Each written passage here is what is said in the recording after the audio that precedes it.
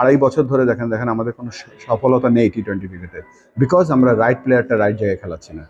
এই জায়গাতেই আমাদের আসলে বাইশ বছর ধরে সমস্যা আমি মনে করি। ছক্কা আমার ছক্কা আমার ভিডিও দিব হই। ছক্কা হঠাৎ মারলো।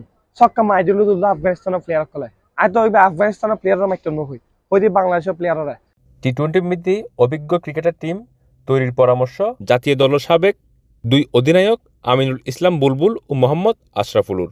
অডিশনের মাধ্যমে সাকিব দলের এশিয়া কাপ মিশন শুরুর পর তাৎক্ষণিক প্রতিক্রিয়া মিলিয়ে এমনটাই জানাই তারা। আমার কাছে মনে হচ্ছে যে এখানে অনেক অনেক কিছু বলবে হয়তো বাট আমার কাছে মনে হয় যে টি টোয়েন্টি যে স্পেশালাইজ প্লেয়ার সেই যত- যতদিন আমরা সেই একটা টিম বের করে আনতে পারব তাহলে কিন্তু আদারওয়াইজ আমরা কিন্তু স্ট্রাগল করব। দেখেন আপনি গত আড়াই বছর ধরে দেখেন দেখেন আমাদের কোনো স- সফলতা নেই টি টোয়েন্টি ক্রিকেটে বিকজ আমরা রাইট প্লেয়ারটা রাইট জায়গায় খেলাচ্ছি না। এই জায়গাতেই আমাদের আসলে বাইশ বছর ধরে সমস্যা আমি মনে করি। যে আমরা যাকে নিয়ে চিন্তা করি, তাকে নিয়ে আমরা সব ফরম্যাটে চিন্তা করি। এটা আসলে সমস্যাটা কারণ আমাদের প্লেয়ারও নাই, ওই ধরনের প্লেয়ার নাই, আমরা তাই যাকে পাই তাকে নিয়ে আমরা সব ফরম্যাটে চিন্তা করি।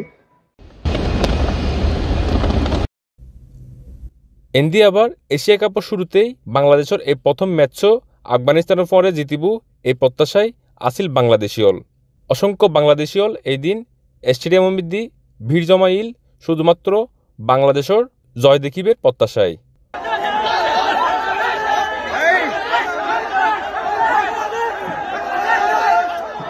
মাথার গাম ঠ্যাঙত ফেলাইয়েরে, উপার্জন করা টিয়া দিয়েরে, টিকিট কিনিয়েরে এবং বোধ কিয়ার হাসতা হা সত্ত্বেও ছুটি লই আইয়েরে খেলা চাইতে আয়ুন্নে বাংলাদেশি প্রবাসী হলো খুব হতাশাগ্রস্ত ই আর ফেস দেখতে লাগবে না। আসলে মুড অফ হয়ে গেছে ছক্কা আমার ছক্কা আমার ভিডিও দিব হই, ছক্কা হঠাৎ মারলো।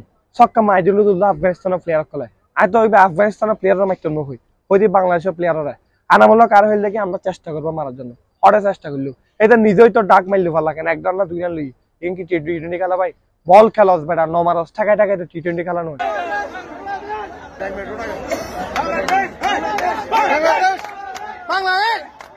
পারফরমেন্স দিয়ে আজ খুবই নিরাশ ইনশাল্লাহ আগামী হালি শ্রীলঙ্কালৈ যিবে খেলাইব। আশা করি জিনিস জিনিস হারাই উঠতে পারিব। এশিয়া কাপর যে খেলা হই, বাংলাদেশ খুবই প্রত্যাশা যে আফগানিস্তানের পরে বাংলাদেশ দল জিতিব। কিন্তু তারা হতাশাগ্রস্তই তখনই যখন বাংলাদেশ দল পড়ে গিয়ে এই এশিয়া কাপের মধ্যে আফগানিস্তানের পরে।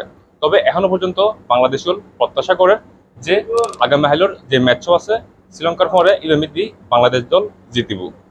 সংযুক্ত আরব আমিরাতত্তন ইস্তিয়াক আসিফ se plastive.